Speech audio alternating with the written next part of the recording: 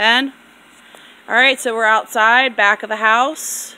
As you can see, outer buildings, blah, blah, blah. Inner building, there was some stuff, a lot of it's Rob's that's left in here. Be careful, I don't know what this is.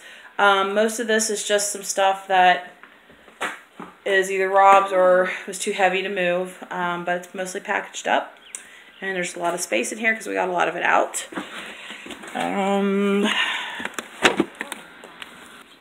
here's the potted plant that's been here since we moved in.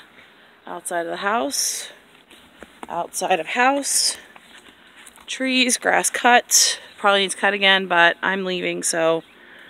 Um, side of house. This is looking like all of Rob's stuff over here in the corner. We piled it up for him. There's Mary's stuff upstairs. I believe I got all of my stuff. This was Emma's mattress. I couldn't really do much with it. Rob can take it if he'd like to. That table is his.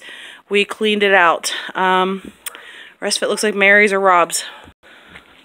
Front of house. Boy's putting it down. It's around... Time is... What time is it? 7.30, 8 o'clock?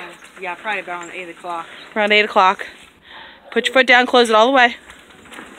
There's a Rose of Sharon bush.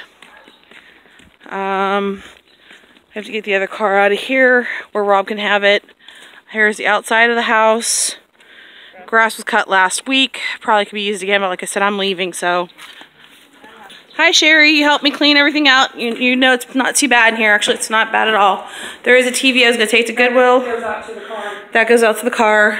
So when we come back in and just do some random cleaning, um, I don't know yet, but I know I'm going to take my few things.